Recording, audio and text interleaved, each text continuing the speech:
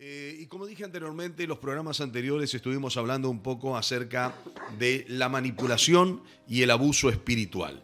No voy a volver a eso, hay cuatro programas que nosotros hablamos al respecto, pero hoy como para cerrar, si bien no le pusimos el mismo título, tiene otro título eh, el programa del día de hoy, pero como para cerrar un poquitito esto, queremos mirar un claro ejemplo de personas que fueron de alguna manera eh, influenciadas eh, no sé si sería la palabra correcta, pero Pablo lo describe un poco así también, manipuladas para dejar a Cristo, porque este es el objetivo eh, principal o el centro que encontramos en la, en la carta de Gálatas, que dejaron a Cristo, dejaron a Cristo y fueron movidos para ir detrás de otras cosas. Bueno, vamos a leer ya Gálatas capítulo 3, verso 1, si te parece, por favor, leo y ya nos metemos en esto. Amén, pastor. Oh Gálatas insensatos, ¿quién os, eh, ¿quién os fascinó para no obedecer a la verdad? A vosotros, ante cuyos ojos Jesucristo fue ya presentado claramente entre vosotros como crucificado. Muy bien, fíjese, Pablo escribe a los Gálatas, si bien la carta a los Gálatas eh, tiene la particularidad de, un llamado de atención para que retornen, para que vuelvan a Cristo. Porque los Gálatas, o a ver, para poder explicarlo de otra manera, la provincia de Galacia eh, era una provincia que pertenecía al imperio romano, para que podamos entender de alguna manera, eh, y eh, Galacia estaba compuesta por varias ciudades o varios lugares, si podemos decir así, que el apóstol Pablo recorrió. Después vamos a explicar un poquitito eso para que usted pueda entender.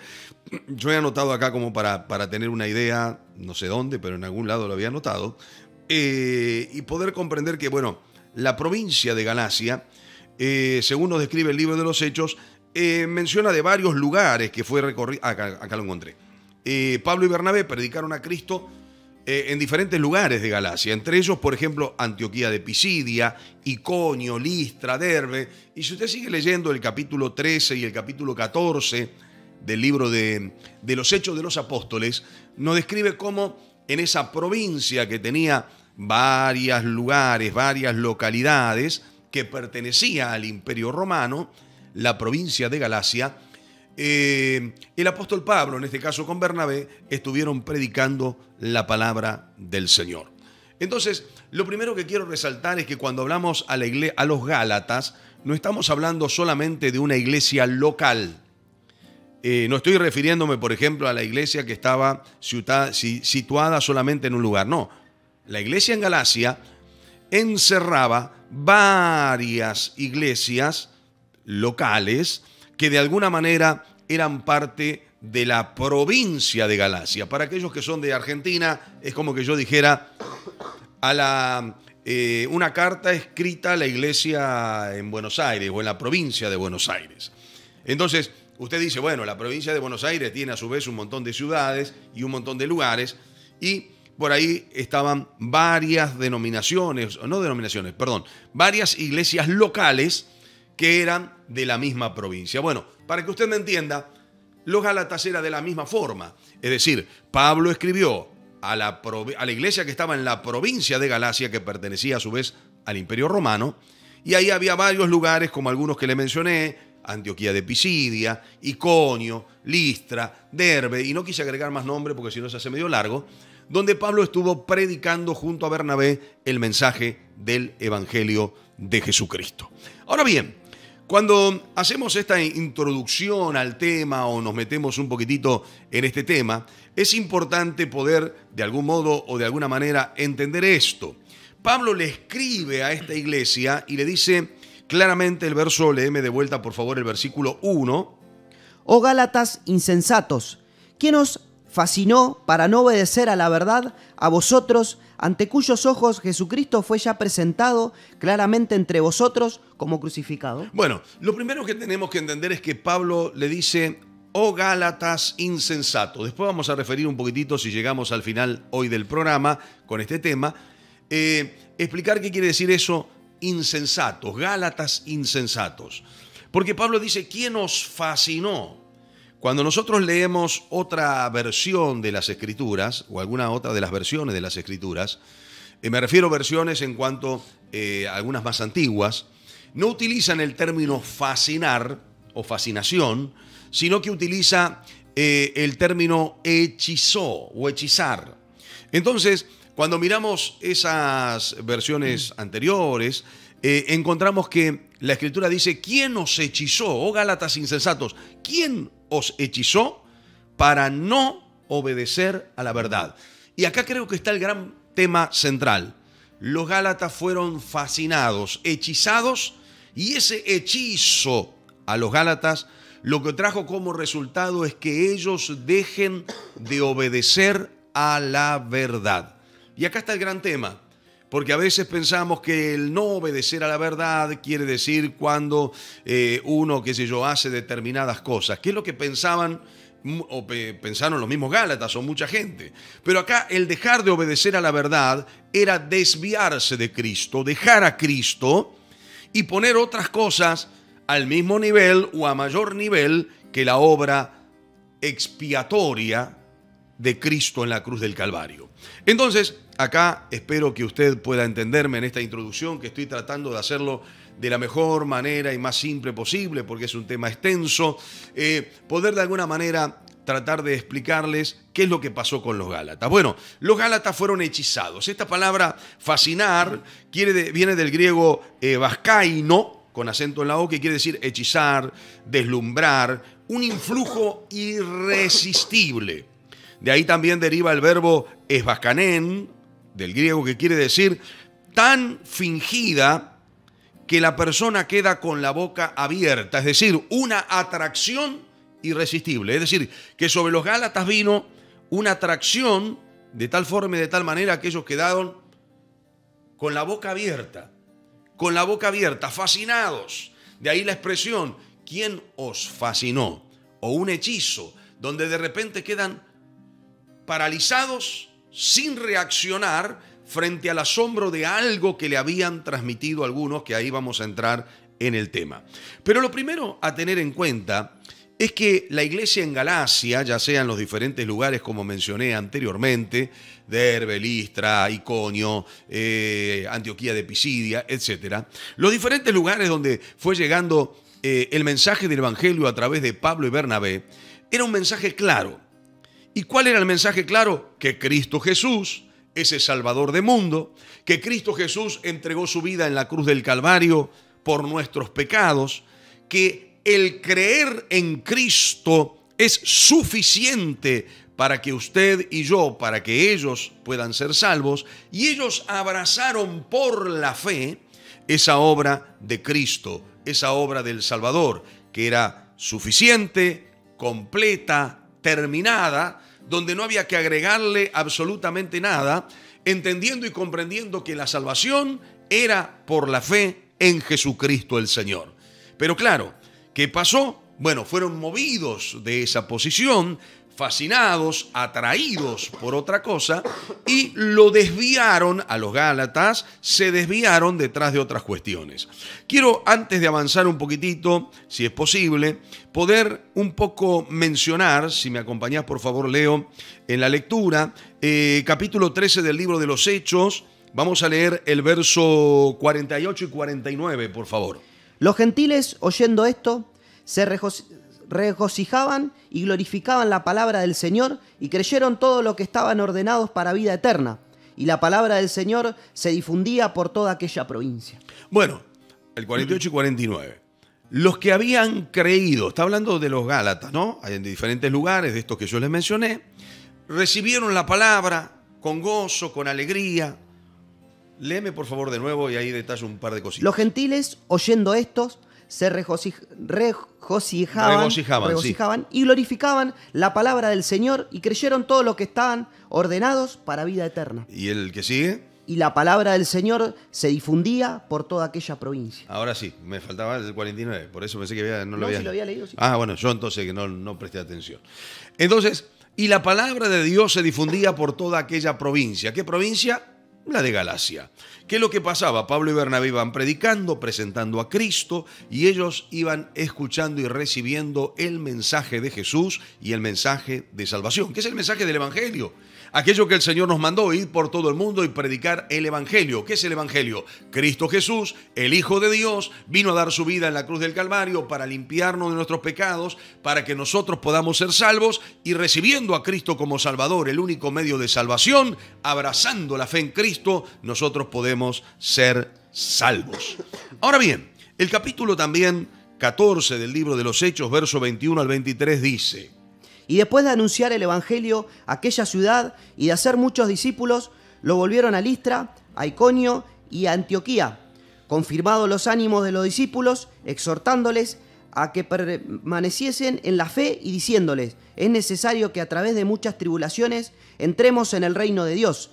Y constituyeron ancianos en cada iglesia y habiendo orado con ayunos, los encomendaron al Señor en quien habían creído. Bueno, lo que quiero mostrarle en esta primera parte, que es un poco la introducción del tema, es que el apóstol Pablo, en este caso particular con Bernabé, recorrieron ciertos lugares de la provincia de Galacia y ahí fueron predicando a Cristo y recibían a Cristo con gozo los hermanos, con alegría. En algunos casos tuvieron que, escapar porque los de la circuncisión, es decir, los judíos, los persiguieron, los querían matar, pero fueron por diferentes lugares predicando la palabra. Una vez que hicieron la recorrida y que de algunos lados se tuvieron que ir rápido, escapando, la Biblia dice que ellos hicieron un regreso en algunas ciudades confirmando a los hermanos, afirmándoles la palabra y también estableciendo ancianos en los diferentes lugares. Y ellos regresaron de nuevo de donde habían sido encomendados eh, a Antioquía, de donde habían sido encomendados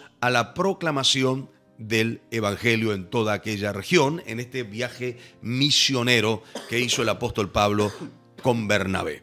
Lo que quiero decirles, ¿por qué planteo esto? Bueno, Planteo esto, hermanos, por el único motivo o causa de que los Gálatas conocieron bien el mensaje del Evangelio. Los Gálatas recibieron bien el mensaje de Cristo. No es que recibieron un mensaje que no fue entendible, que no fue claro, que fue medio eh, tergiversado. No, fue un mensaje claro. Ellos de forma clara recibieron el mensaje de la palabra del Señor. Entonces, esto es interesante porque eh, después ellos fueron desviados de esta sincera eh, voluntad o servicio al Señor y se fueron detrás de otras cosas que ahora vamos a tratar de ir mencionando. Eh, el capítulo 1 del libro de Gálatas, del verso 6 en adelante, dice que muy pronto ellos fueron perturbados para poder dejar a Cristo y de alguna manera ir detrás de un evangelio diferente. No es que haya dos evangelios, ni tres, ni diez. El evangelio o el mensaje del evangelio es uno solo, pero ellos se desviaron. Vamos a tratar de mencionar un poquitito eso. 1.6, pastor. 1.6 al, te dije, hasta el 10. Hasta el 10. Estoy maravillado de que tan pronto os hayáis alejado del que os llamó por la gracia de Cristo, para seguir un evangelio diferente. No que haya otro, sino que hay algunos que os perturban y quieren pervertir el evangelio de Cristo. Mas si aún nosotros o un ángel del cielo os anunciare otro evangelio diferente del que os hemos anunciado, sea anatema. Como antes hemos dicho también, ahora lo repito, si alguno os predica diferente evangelio del que habéis recibido, sea anatema. Pues, ¿busco ahora el favor de los hombres o del de Dios? ¿O trato de agradar a los hombres? Pues si todavía agradara a los hombres, no sería siervo de Cristo. Gracias. Fíjese un poquitito que nosotros leímos en el capítulo 3, verso 1, donde dice, oh Gálatas insensatos, ¿quién os fascinó eh, a vosotros ante cuyos ojos Jesucristo fue ya presentado claramente. Note que Cristo en los ojos de ellos fue presentado claramente. Cuando usted estudia la palabra griega de esta expresión fue presentado claramente, se lo explico de una manera simple, tal vez usted me pueda entender. Es como que delante de ellos Cristo no creo que usted pueda ver lo que dice acá, aparte está de costado, pero Cristo fue presentado con carteles de forma visible donde todos podían leer lo que había ahí. Era más o menos el concepto, para que usted me entienda, como se hacía en la antigüedad, tal vez alguno por ahí lo habrá visto en alguna de aquellas películas antiguas, donde el rey sacaba un edicto y de repente lo pegaban ahí en dinteles eh, o, en, lugares eh, públicos y lo clavaban así eh, la notificación que se ponía o aquel mensajero que se paraba en un lugar alto donde se reunía la gente y transmitía el mensaje que el rey enviaba a la gente. No sé si me explico lo que quiero decir.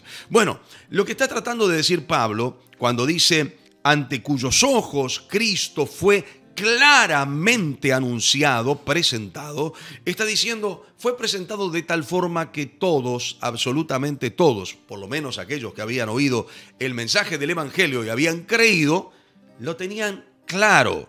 No es que ellos no entendieron lo que le estaba diciendo el apóstol Pablo, no, Pablo le estaba tratando, no tratando, sino le transmitió un mensaje claro del Evangelio de Jesucristo.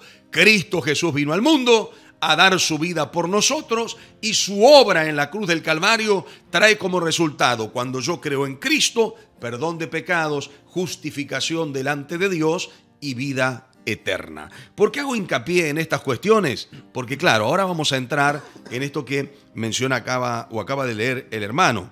Porque lo que ocurrió es que ellos, de forma muy rápida, Pablo dice, estoy maravillado, otra expresión de asombro del apóstol Pablo, estoy maravillado de que tan pronto os hayáis alejado del que os llamó por la gracia de Cristo.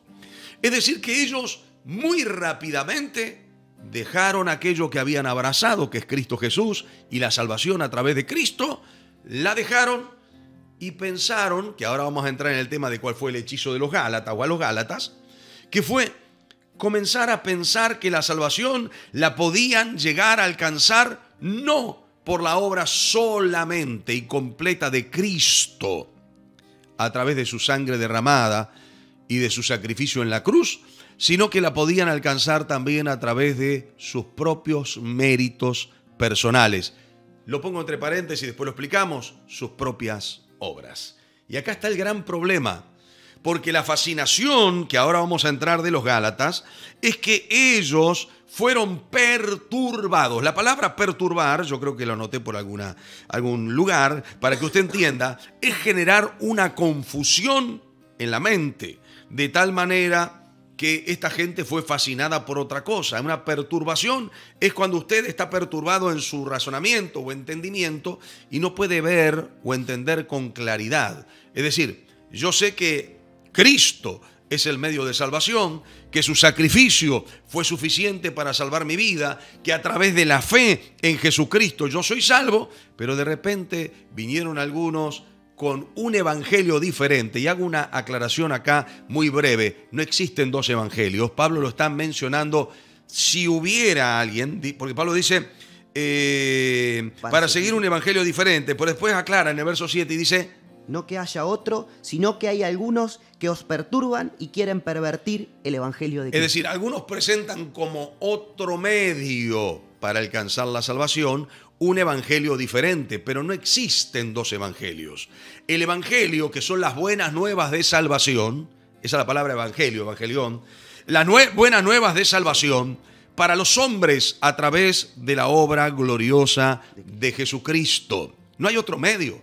Hay un solo Dios y un solo medio entre Dios y los hombres, Jesucristo hombre. El único medio de acceso al trono de la gracia para que usted y yo podamos acceder de forma confiada es Cristo Jesús. No hay dos, no hay tres, no hay cuatro, no existen ningún otro medio a no ser Jesucristo. El gran problema es que algunos se habían metido dentro de la iglesia, ni bien llegó el Evangelio, queriendo decir que también a través de las obras o de guardar ciertos puntos que estaban establecidos en la ley, como lo era la circuncisión en este caso particular, o guardar algunos días de reposo, fiestas solemnes, iban a poder de alguna manera alcanzar la salvación, haciendo inválida la obra de Cristo. ¿Por qué inválida? Porque estaban mostrando que el hombre a través de medios personales y propios podía lograr alcanzar la salvación, algo que era un engaño, una mentira, porque nadie a través de guardar la ley podía alcanzar la salvación, porque ningún hombre, ningún hombre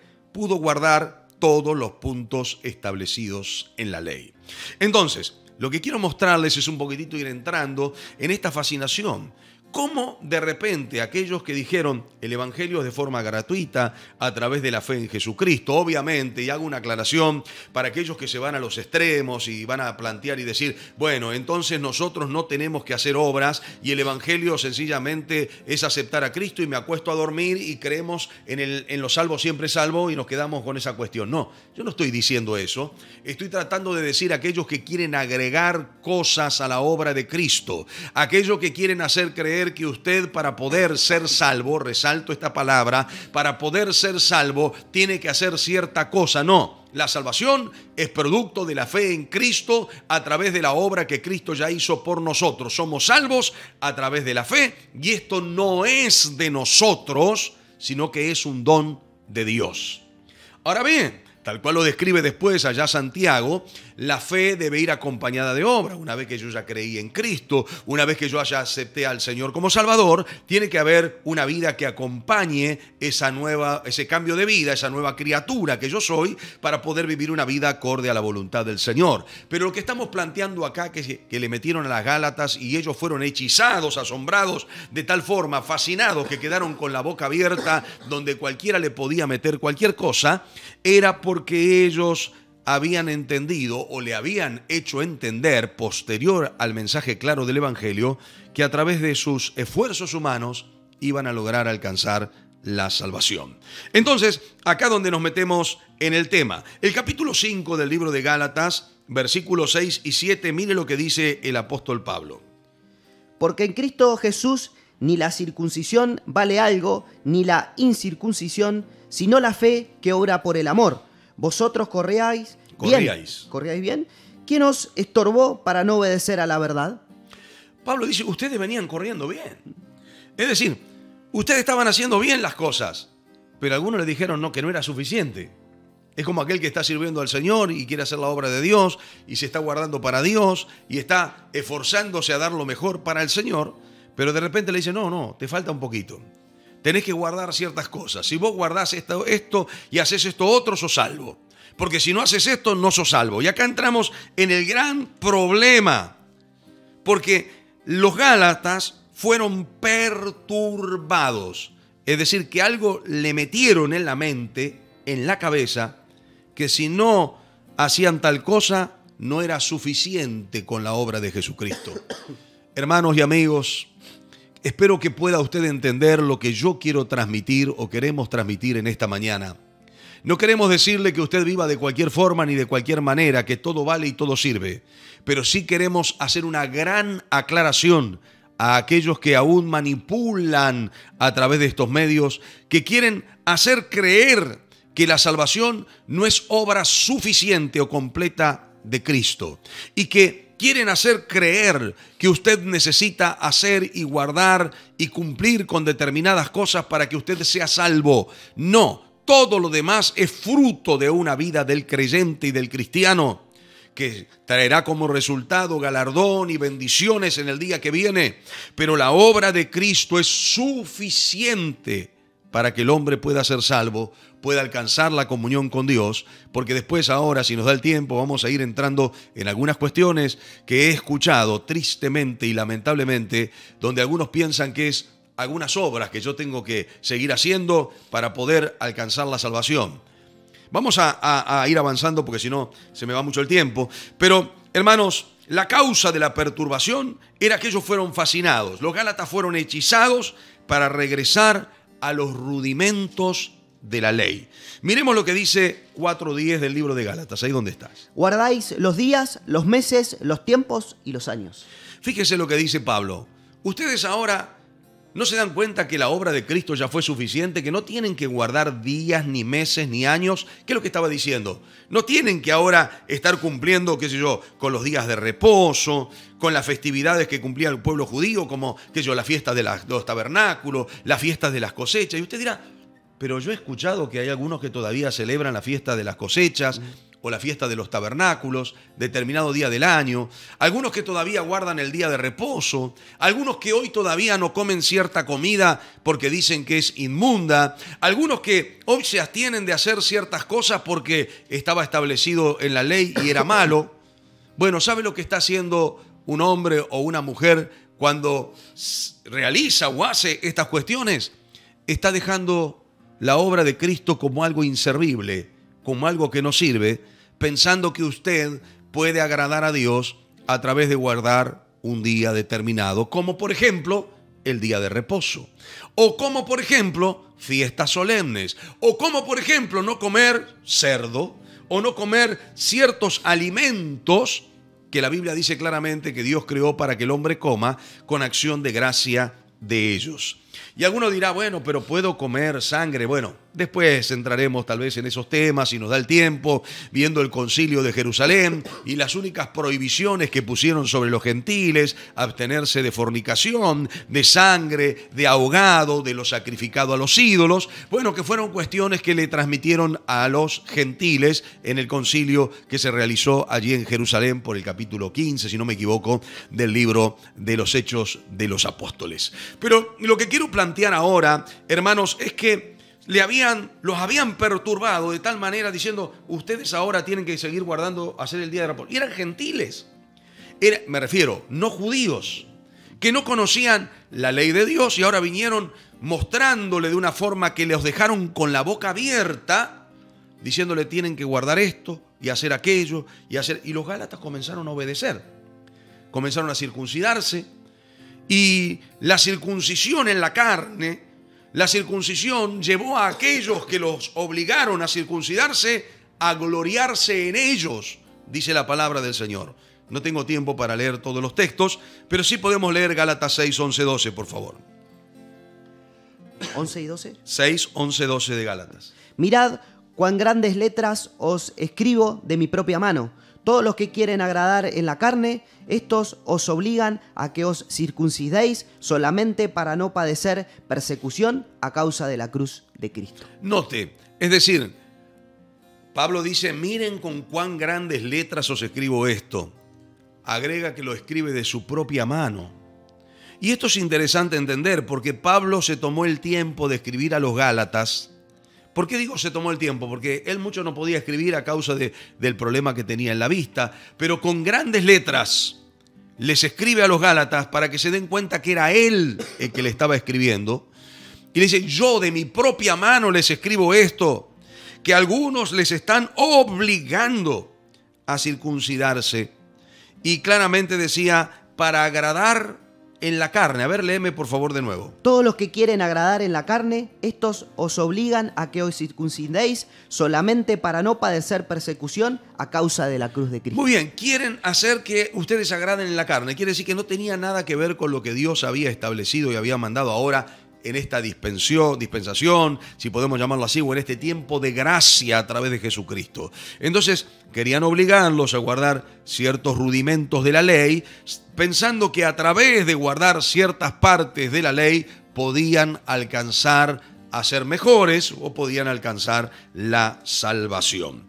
Entonces, hoy hermanos tenemos que entender que también, como en el ayer, hay fascinaciones, si podemos decir así fascinaciones que de alguna manera algunos transmiten y por ahí algunas palabras que parecen elocuentes o palabras que, que la dicen determinadas personas y suenan, wow, ¿qué es lo que dijo? Y, y pensamos que tenemos que guardar ciertas cosas y llegar a lo que es la meritocracia, espero que se interprete esa palabra, que a través de méritos o de cosas que yo hago voy a alcanzar la salvación. Déjeme decirle que nadie, absolutamente nadie, es salvo a través de de las obras. Nadie, absolutamente nadie, es salvo a través de las obras. Porque la salvación es producto único, absoluto de la obra de Cristo en la cruz del Calvario. Y la salvación no viene por guardar las obras, ya sea de la ley o los que algunas personas u hombres obliguen a realizar. La salvación viene a través de la fe en Jesucristo. Y vuelvo de nuevo a la aclaración que hice antes. Si es necesario que el creyente nacido de nuevo viva una vida acorde a lo que Dios establece en su palabra y que las obras del creyente o el fruto del creyente es resultado de vivir una nueva vida en Cristo bajo los parámetros establecidos en la palabra del Señor. Pero de ninguna manera las obras son antes de la salvación. Viene la salvación como producto de la fe y salvos en Cristo Jesús, nosotros comenzamos a manifestar obras, fruto de un creyente nacido de nuevo. No las obras me hacen salvo, las obras es resultado de la salvación. Espero que se haya entendido bien y que usted pueda interpretar lo que estamos diciendo. Quiero leer textualmente porque he escuchado estas afirmaciones, hermanos, no hace mucho tiempo. Textos sacados de su contexto y mal explicados o aplicados. quiero hablarlo con el único objetivo que estos textos lo mencionaron algunos, sacando un pedacito nada más del texto o fuera de su contexto, eh, con el único fin de generar la obediencia en el otro para que obedezca y resaltar la obediencia para tener a la gente sujeta. Eh, imponiéndole que debe guardar obras, ciertas obras, las que ellos dicen que deben guardar, eh, para alcanzar la salvación. Entonces quiero leer textualmente lo que he escuchado. Alguien dijo, nuestras almas, e interprétese lo que quiero decir, nuestras almas no son purificadas por conocer la verdad, sino por obedecer a la verdad. Léeme por favor Primera de Pedro, capítulo 1, verso... Ah, es muy largo, ¿no? Eh, pero el verso 22 lee. Primera de Pedro 1. Habiendo purificado vuestras almas por la obediencia a la verdad, mediante el Espíritu para el amor fraternal, no fingido, amaos unos a otros entrañablemente de corazón puro. Bueno, si usted agarra este texto y lee este que leyó el hermano y solamente lo interpreta desde ahí, y una sola parte obviamente de, aún del mismo texto, lo que va a llegar como conclusión con alguien que lo tergiverse es que nuestras almas son purificadas por la obediencia a la verdad. Pero cuando usted lee el contexto desde el versículo 13, si no me equivoco, en adelante, eh, hasta el 22 inclusive, va a encontrar de que la verdad es Cristo. Y creyendo en Cristo, obedeciendo al llamado de salvación en Cristo, nuestras almas son purificadas. Eso es lo que está diciendo el apóstol Pedro. No está diciendo lo que alguno equivocadamente dijo, nuestra alma no son purificadas por conocer la verdad. Está diciendo, conocer a Cristo no te purifica a tu alma. Es decir, el venir a Cristo y recibir a Cristo como Salvador no te limpia de tus pecados, sino el obedecer. Error, error y error. Lo que está diciendo, repito, Pedro, es que una vez que yo conozco a Cristo y le acepto, obedezco al mensaje del Evangelio, es decir, le digo sí al Señor, a eso apunta, le digo sí a Cristo, le digo sí al Salvador, mi alma, mi ser es purificado. Y no que yo a través de obras, alcanzo la purificación del alma. Porque claramente, hermanos y amigos, tenemos que entender que mientras estemos en este cuerpo de carne, mientras estemos en este estuche de barro, de forma continua estamos luchando para mejorar y estamos luchando día a día para permanecer firme y nadie es perfecto. En este cuerpo continuamente necesitamos purificación y santificación. La Biblia dice, el que es santo, santifíquese más. El que es puro, purifíquese más. Y la pregunta es, si yo ya soy santo, ¿cómo debo santificarme más? Y la gran realidad, hermanos, es que yo soy santo, apartado quiere decir, de aquello que tengo luz o conocimiento. Pero de aquellas cosas que me son ocultas, que tal vez yo estoy haciendo mal, que no, todavía no me ha revelado la luz, no conozco, no puedo santificarme porque desconozco que está mal. Pero cuando viene la luz de la palabra y me alumbra, me doy cuenta y me voy santificando más. A eso apunta. El que es santo, alcanzando el nivel de santidad frente al conocimiento que va teniendo de la luz del Evangelio, yo voy limpiándome. Por eso que aquel que, se, que conoce más o que se le da más, más se le demandará. ¿Qué está refiriéndose? Tendrá más luz, tendrá más claridad, por lo tanto habrá más demanda sobre él. Entonces, esta expresión, hermanos, para llevar al hechizo de los Gálatas o a los Gálatas hoy algunos también lo emplean, diciendo, debes obedecer a la verdad, porque el solo hecho de creer, de conocer la verdad, no te hace salvo, sino que tenés que obedecer a la verdad. Claro, en estos tiempos vinieron unos hermanos a hablar conmigo y me dijeron, mire pastor, nosotros queremos, bueno, ser parte de la iglesia, queremos, pero tenemos que todavía dejar ciertas cosas, hay veces que por ahí, qué sé yo, alguna palabra se nos escapa porque venimos eh, de estar lejos del Señor y alguna palabra por ahí se nos escapa y cuando podamos dejar todo eso, vamos a avanzar. No, no, hay que avanzar. Porque el compromiso, el unirnos a Cristo, el estar en comunión con Dios, el ser parte del cuerpo de Cristo, es al revés. Va a traer como resultado que yo pueda santificarme, que yo pueda limpiarme, que mis obras sean acorde a la voluntad del Señor y tenga la gracia, el poder de Dios para ayudarme a avanzar en una vida de santificación. Pero no es que yo a través de las obras primero me purifico, no, yo cuando esté bien, cuando deje de esto, deje lo otro y deje aquello. Hay personas que dicen, no, cuando yo deje las adicciones, cuando yo deje de hacer esto, ahí voy a ir a la iglesia. No, es que es al revés. Usted tiene que venir al Señor con su carga. Usted tiene que venir al Señor con su problema, porque es la única forma de poder ser libre del problema. Si el hombre pudiera por sí mismo ser libre del problema a través de sus obras, la obra de Cristo sería vana. Esto es lo que le metieron a los Gálatas. A los Gálatas le metieron que a través del día de reposo o la circuncisión, ellos iban a alcanzar la salvación y ahora estaban bien. Y Pablo dice, ¿quién los fascinó? ¿Quién los hechizó? ¿Quién los dejó con la boca abierta para que se le meta cualquier cosa y cualquiera tire cualquier cosa y ustedes los mastiquen y lo coman sin entender absolutamente nada. Es como dijimos los otros días, cuando alguien, por ejemplo, estaba mencionando y diciendo, eh, no tiene que ir al centro a mirar las vidrieras, porque si usted va a mirar vidrieras al centro, de ropa me refiero, se le meten demonios. Y todos atrás gritaban enloquecidos como que lo que estuviera diciendo era una gran verdad no, y es un gran torcimiento, si podemos decir, de la verdad. Los demonios no se meten porque usted vaya a comprarle ropa a sus hijos o para usted mismo. Los demonios se meten cuando yo abro la puerta de mi corazón y permito a través del pecado meterme en algunas cosas y de ahí sí hay acceso, si no, no hay acceso. Entonces, entendamos lo que estoy tratando de explicar, es que llegamos a una fascinación como llegaron los Gálatas, donde cualquiera quedamos con la boca abierta como el pajarito bebé que espera que la mamá venga y le traiga la comidita y no discierne lo que le trae, lo traga de una y se lo come.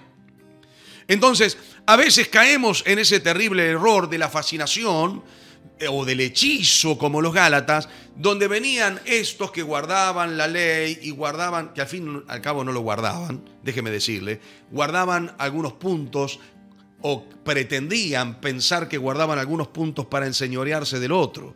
Lo que ellos querían era mostrar a los otros como trofeos de su actividad o de su obra, que es lo que hicieron con los Gálatas. Pablo se los advierte y se los dice, lo que ellos quieren hacerse, hacer es gloriarse en ustedes, haciéndolos circuncidar. Pero volvemos un poquitito acá a estas distorsiones que a veces escuchamos. Otra de las cosas que escuché es que hay que obedecer para ser rociados por la sangre de Cristo. ¿Cómo es eso? Hay que obedecer para ser rociados por... Siempre obras, ¿no? Acciones. Primero yo hago para después recibir. Y bueno, lo único que tengo que hacer, hermano, es creer. Creer. Tan simple y tan sencillo. Creer. Por gracia soy salvos. La palabra gracia es favor no merecido. El don de Dios manifestado a los hombres a través de la persona de Cristo. Por la gracia viene como resultado la salvación. La gracia no viene como eh, o la salvación no viene como resultado de obras, como resultado de la gracia. Y he escuchado entonces esto también, y lo digo textualmente, tal cual lo escuché. Hay que obedecer para ser rociados por la sangre de Cristo. Mire lo que dice Gálatas 2.16. Sabiendo que el hombre no es justificado por las obras de la ley, sino por la fe de Jesucristo nosotros también hemos creído en Jesucristo para ser justificados por la fe de Cristo y no por las obras de la ley, por cuanto por las obras de la ley nadie será justificado. Ah, escucha, hermano.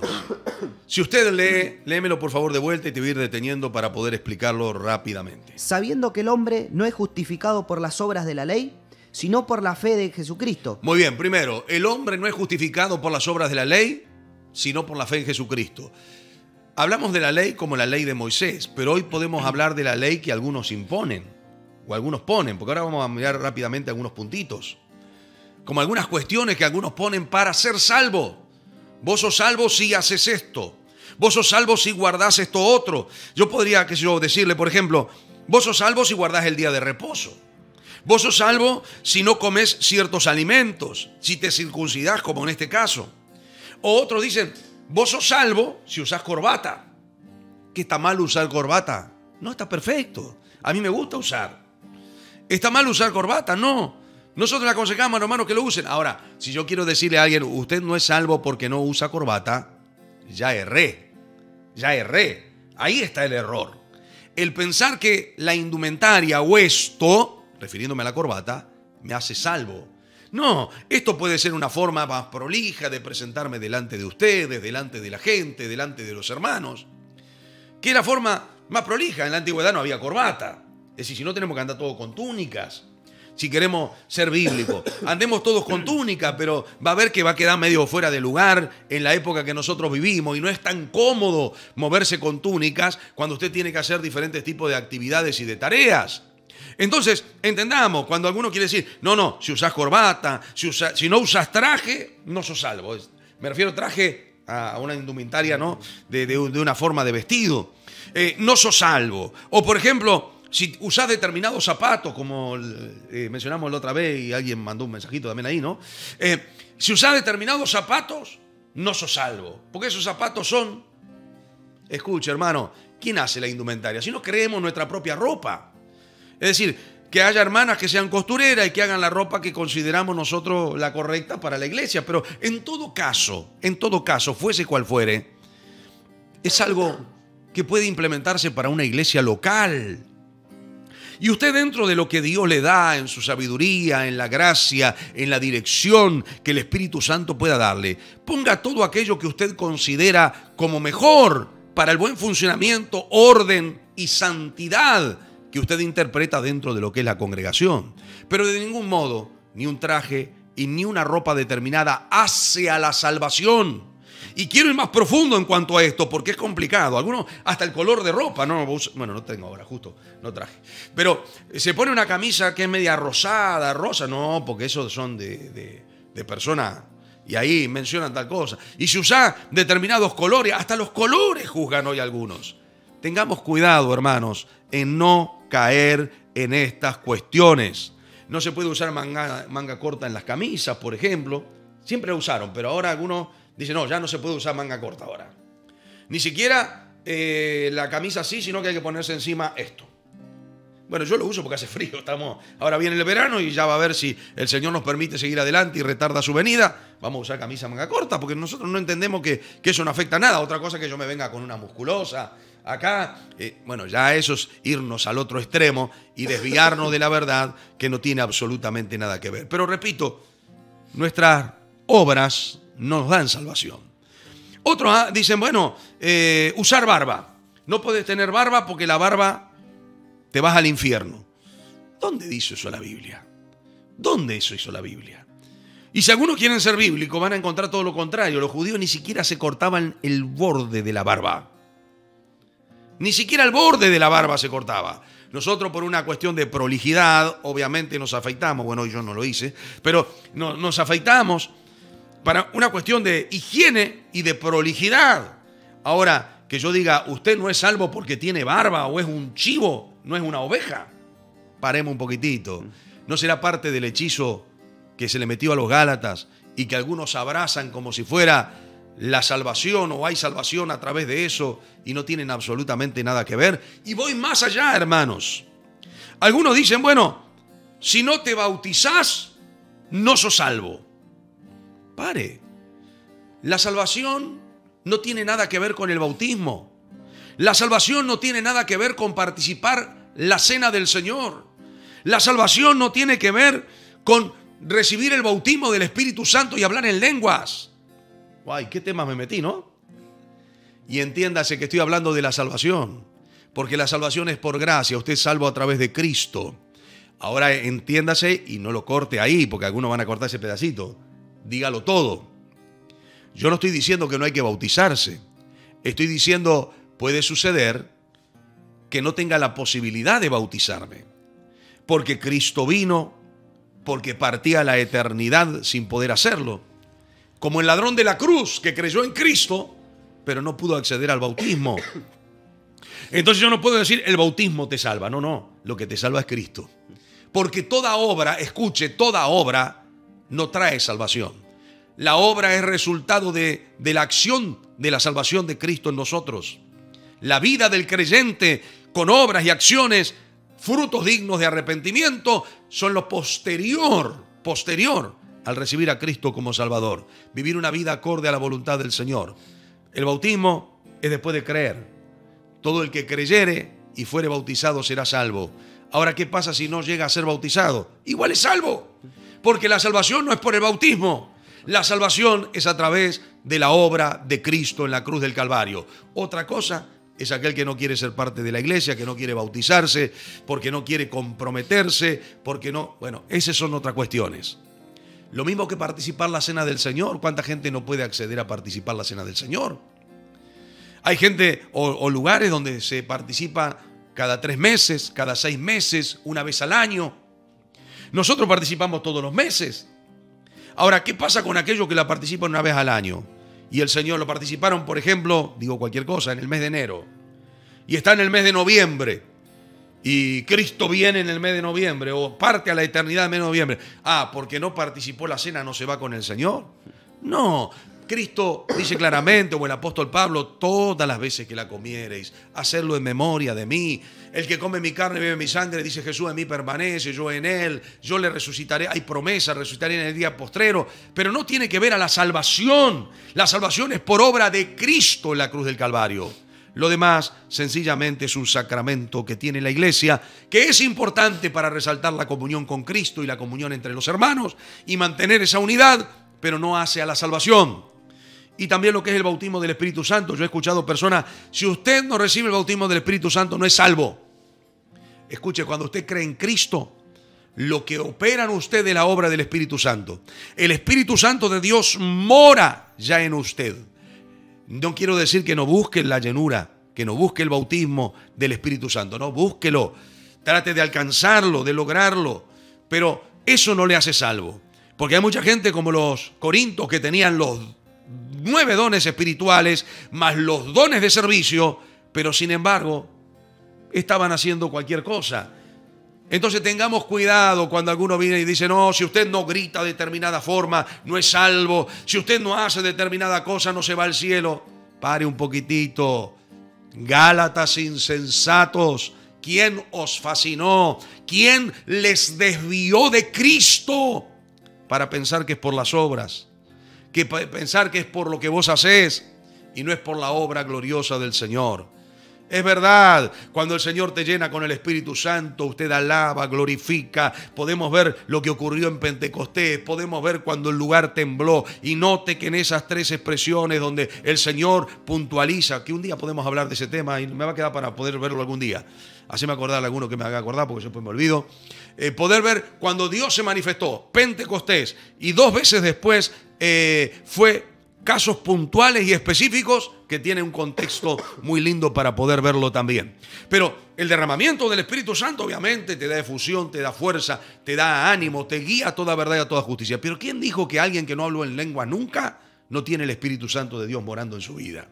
Si la Biblia dice, cuando creísteis, fuisteis sellados con el Espíritu Santo de la promesa, el cual nos da las arras hasta alcanzar la posesión adquirida. Quiere decir que ya Cristo obró en nosotros la salvación y el Espíritu de Dios desde el momento que creí en Cristo mora en mí. Que no venga nadie diciendo tenés que hablar en lengua. Gloria a Dios por los que hablan en lengua, por los que hablamos en lengua, por los que podemos tener ciertos dones espirituales. Gloria a Dios por ello. Pero los dones tienen que tener un orden determinado y es para edificación de la iglesia y no es para salvación de nadie. Note para qué son los dones. No son para salvación, sino léame por favor aquellos que no, no lo entienden. Primera de Corintios capítulo 12 con interpretación y capítulo 13 y capítulo 14. Y usted va a entender para qué son los dones espirituales y aún mismo los ministerios y aún mismo muchas cosas que algunos presentan como obras para la salvación, cuando son sencillamente obras para el funcionamiento de la iglesia, para la edificación del cuerpo de Cristo o en muchos casos para la edificación personal del creyente. Qué lástima que la hora se va tan rápido y no podemos detener el tiempo.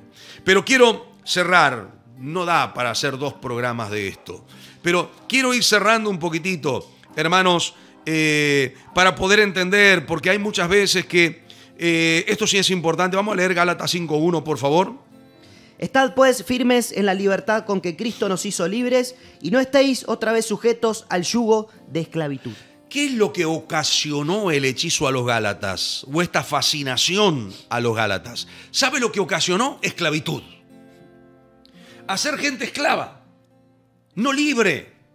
Porque muchas veces nosotros pensamos y decimos, bueno, ahora nosotros somos esclavos de Cristo. Es verdad. Ahora nosotros no somos esclavos de Cristo, somos siervos del Señor. Y usted dirá, bueno, pero es la misma palabra. Sí, si usted busca el sentido, tal vez sí pero voluntariamente, dice la escritura. Entonces yo voluntariamente me he hecho siervo de la justicia, siervo de Cristo, siervo de la verdad para servir al Señor. Voluntariamente me he hecho. Ahora, ¿podemos seguir, Lauti? ¿Tenés tiempo vos?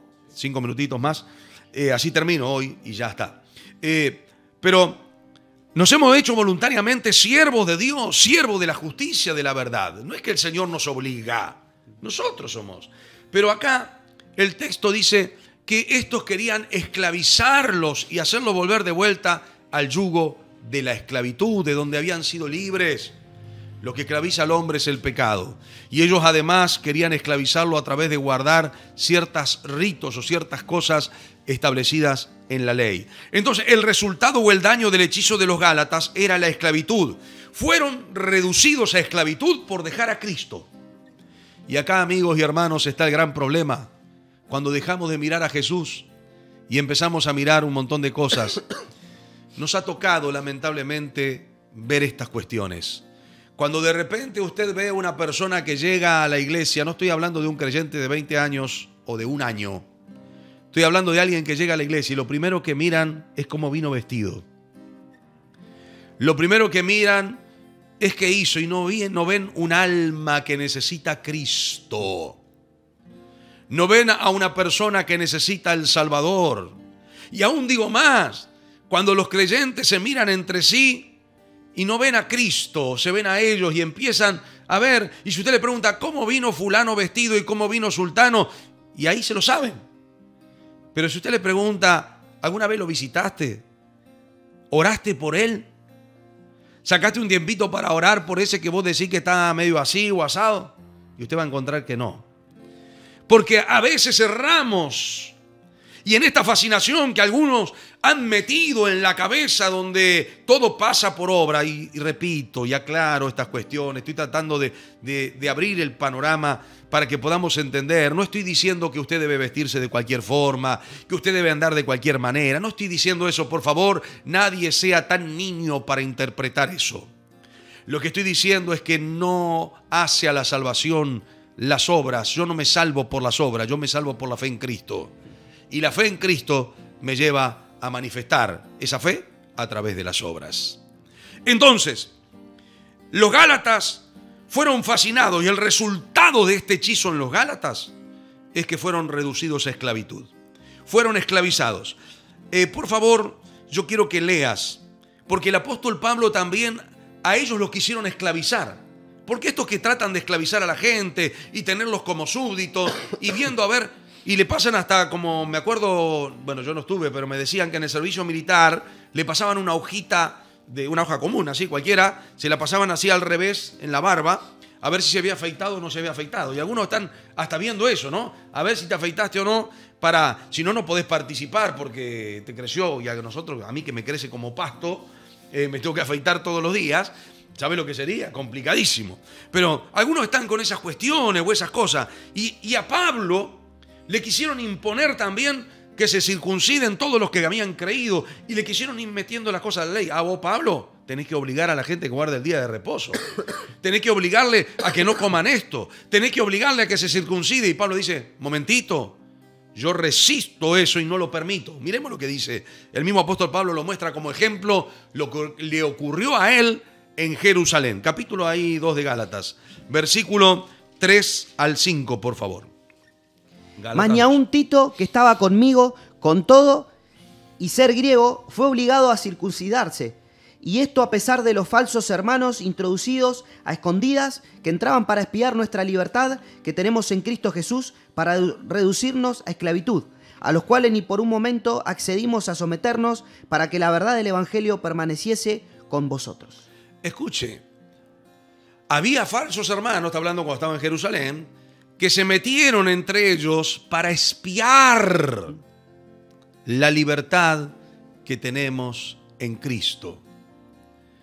Y dice, querían obligarles, y él dice, yo ni siquiera a Tito le obligué, porque era, no era eh, judío, le obligué a que, creo que era griego, si no me equivoco, a, a que se circuncide.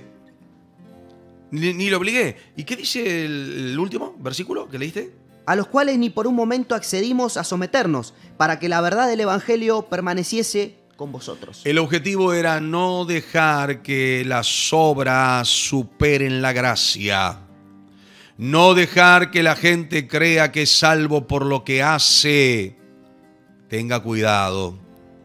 No somos salvos porque ayunamos más que el otro, porque oramos más que el otro. Necesitamos ayunar es parte de la vida del creyente. Necesitamos orar, es parte de la vida del creyente tener comunión con Dios. Necesitamos congregarnos, es parte de la vida del creyente no dejar de congregarnos. Tenemos que vivir una vida acorde a la voluntad del Señor en santificación, es parte de la nueva vida en Cristo. Pero escuche, nada de eso me hace salvo. Lo que me hace salvo es la obra de Jesús en la cruz del Calvario. Lo demás es resultado de mi salvación y de permanecer tomado de ella. Y Pablo dice, en ningún momento permitimos que esto ocurra con el objetivo de qué? Lee el último versículo de vuelta. A los cuales ni por un momento accedimos a someternos para que la verdad del Evangelio permaneciese con vosotros. Para que la verdad del Evangelio permaneciera. Si no, el Evangelio va a ser un Evangelio diferente. Diferente. Y el Evangelio diferente es aquel, que no existen dos evangelios, pero algunos lo tuercen, el evangelio diferente es aquel que te hace creer que a través de las obras vos vas a poder ser salvo.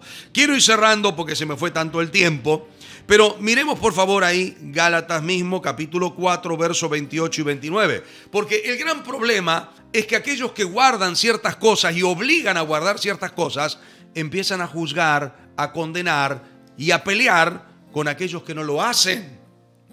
Entonces acá está el gran problema, porque Dios a mí me puede demandar una santificación eh, en un montón de cuestiones y de cosas, pero yo no puedo poner el mismo nivel de demanda mío a todos los demás. Y acá está el gran problema. Acá está el gran problema.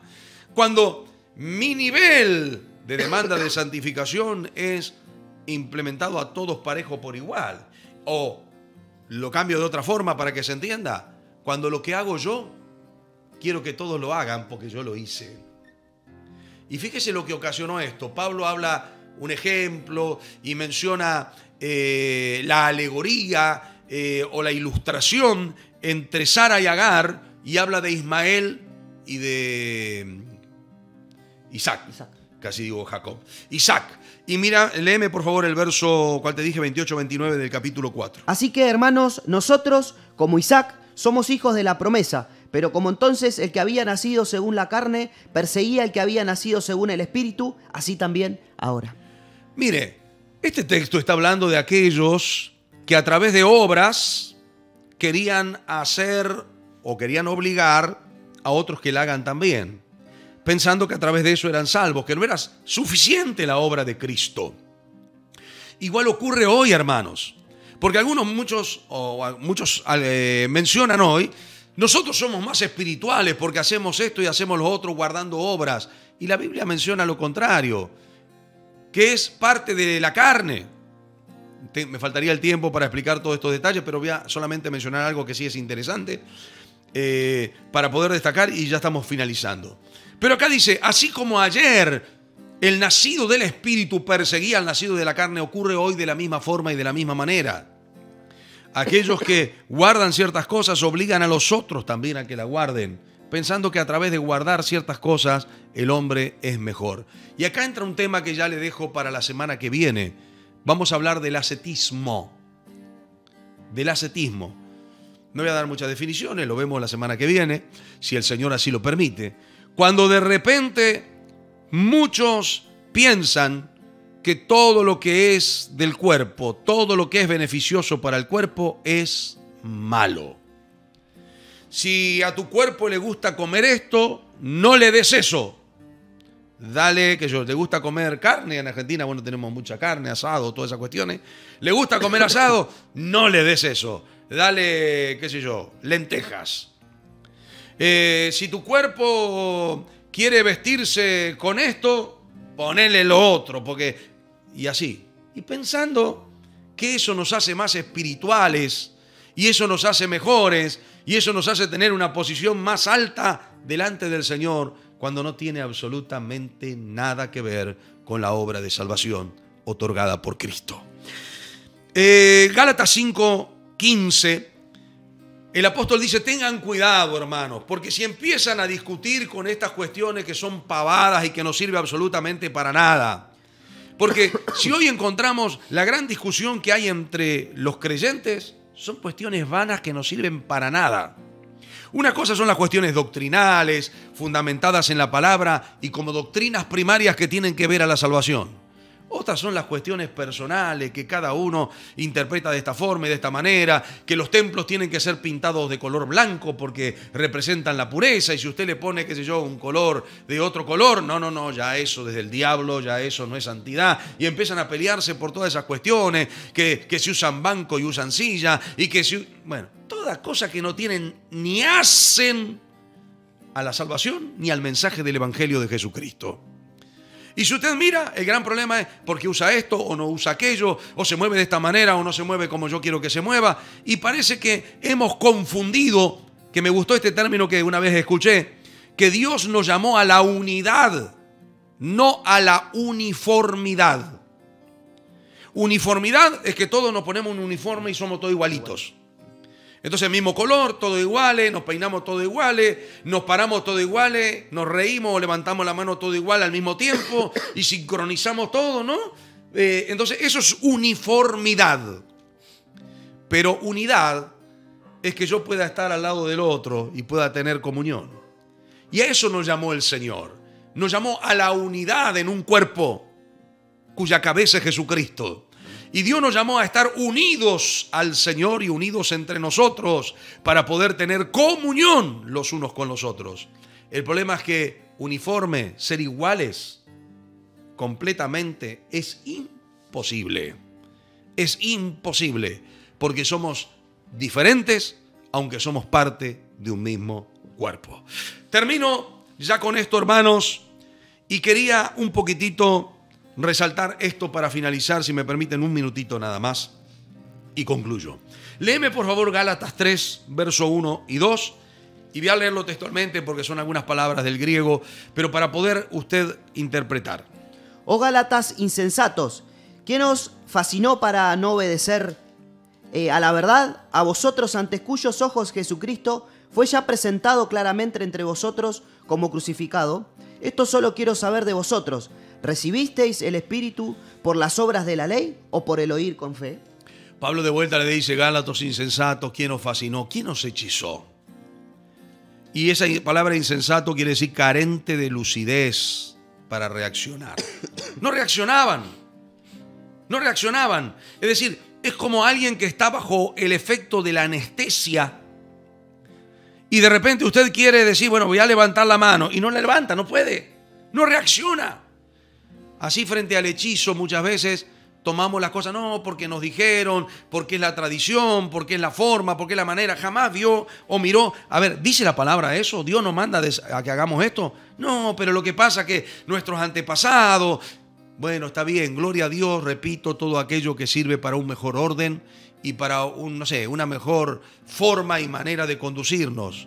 El problema es que eso nada, absolutamente nada supera la obra de Cristo en la cruz del Calvario. Y lo que quiero mencionar es que luego el verso 2 dice esta pregunta, una sola cosa quiero saber de ustedes. Y es lo que el Señor nos dice hoy a nosotros, a usted y a mí. Una sola cosa quiere el Señor saber de nosotros. Y es esto lo que quiere saber. ¿Recibisteis el Espíritu por las obras de la ley o por el oír con fe? Es decir, recibimos el Espíritu Santo, la salvación, por nuestras obras, por nuestra meritocracia o por el oír con fe el Evangelio de Jesucristo. Y quiero, hermanos, leerle las palabras para que usted pueda interpretar qué es lo que dice el apóstol Pablo. Pablo le está diciendo a los Gálatas, no recibieron el Espíritu, y quiero explicar esto, lo leo y ahora se lo explico con detalles. Los Gálatas no recibieron el Espíritu ex ergon, sino ex acoes pisteos. Son las palabras griegas para definir eso. ¿Qué esto quiere decir? No recibieron el Espíritu a través de la sustancia de las obras, sino de la fe o según el principio de la fe. ¿Qué quiere decir? Que los discípulos, en este caso los Gálatas, como nosotros, no recibimos el Espíritu Santo, la salvación en nuestras vidas, a través o por medio del resultado de nuestras obras, sino que lo recibimos sencillamente por la fe en Jesucristo.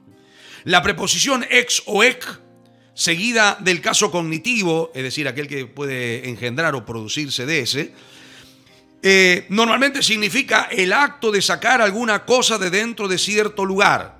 En otras palabras, nosotros no recibimos el Espíritu sacándolo a través de las obras de la fe, sino de, de nuestras obras, perdón, sino que nosotros recibimos el Espíritu sacándolo o lo recibimos a través de el creer por medio de la fe. Espero que lo haya entendido, se me fue el tiempo, no puedo mucho más eh, extenderme yo aquí hoy.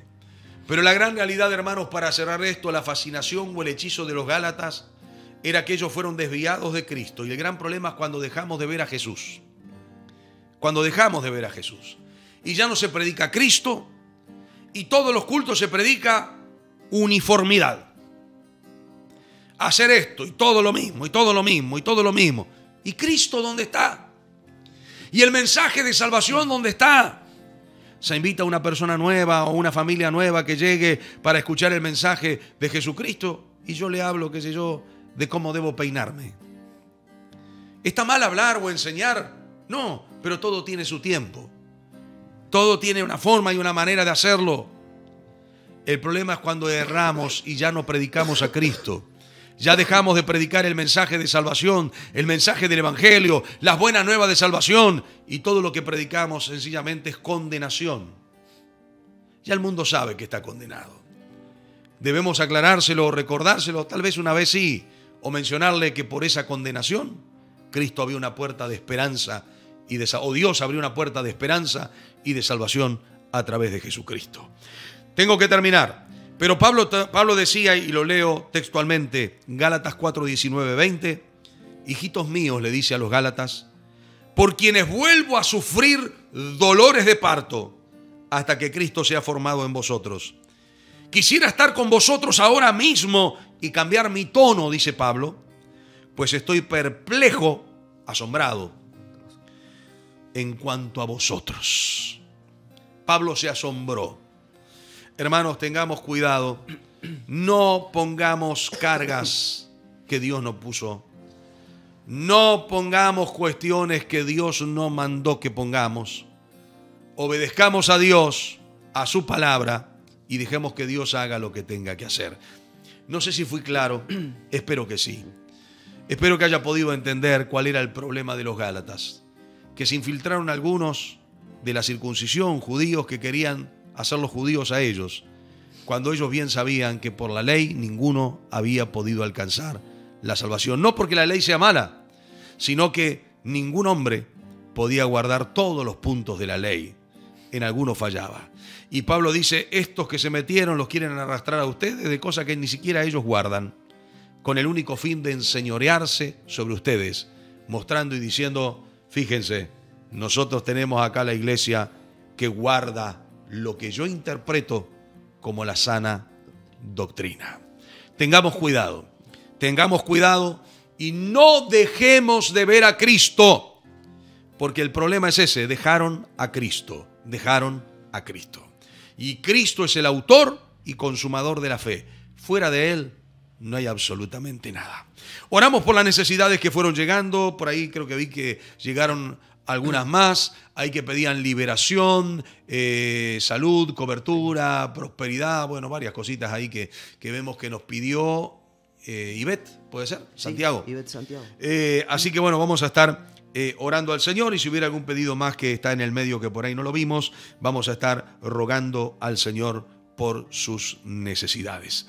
Y ojalá Dios nos abra los ojos y podamos entender que debemos vivir una vida santa, que debemos vivir una vida conforme a la voluntad del Señor, vivir como creyentes, vestirnos como creyentes, andar como creyentes nacidos de nuevo, pero que no estamos por nuestras obras salvos, sino que la salvación viene por obra absoluta de Cristo en la cruz del Calvario. Padre, en el nombre de Jesús queremos darle muchas gracias por esta mañana, este tiempo y esta posibilidad que usted nos ha concedido de poder compartir tu palabra. Señor, ayúdanos, que aquello que a nosotros como hombres se nos ha ido, que no hemos sabido tal vez explicarlo, tu Espíritu Santo pueda encargarse en cada vida de dar claridad y entendimiento conforme a tu perfecta voluntad. Bendice cada hermano, cada amigo, cada uno de tus siervos, los hermanos que tienen la gentileza de acompañarnos cada día que hacemos estos programas. Extiende tu mano de poder, Señor, y ayúdanos a poder tener luz a través de tu palabra y ser edificados por medio de ella para valorar esta salvación tan grande que Cristo Jesús ha hecho por nosotros, sabiendo que esta obra ya fue completa y terminada y que ninguno de nosotros debemos añadir absolutamente nada.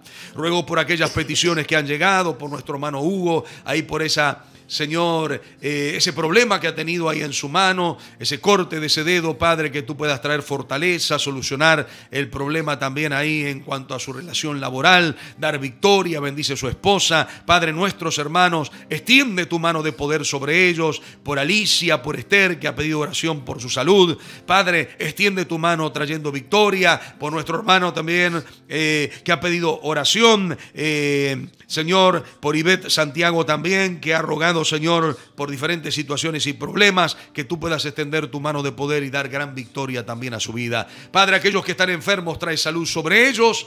Proclamamos el nombre de Jesucristo, Padre, nombre que sobre todo nombre, reprende todo espíritu de enfermedad en los cuerpos y declaramos que por la llaga de Jesús fueron curados, sanados y te damos muchas gracias, Padre, en el nombre de Jesucristo el Señor. Amén